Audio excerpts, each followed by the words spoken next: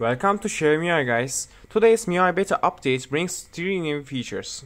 First, the security patch date is changed to September 1, while Google Pixel's using older security patch. Second, MIUI added two new backup options in backup settings.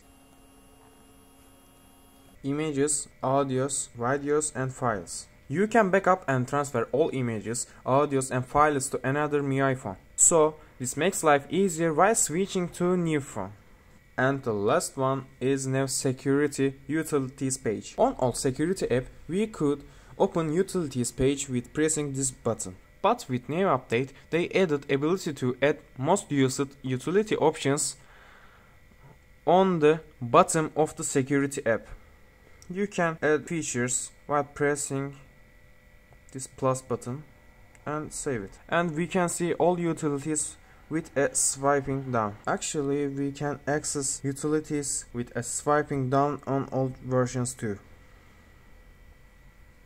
Thank you guys for watching this video. Don't forget to follow us and subscribe. See you in the next video.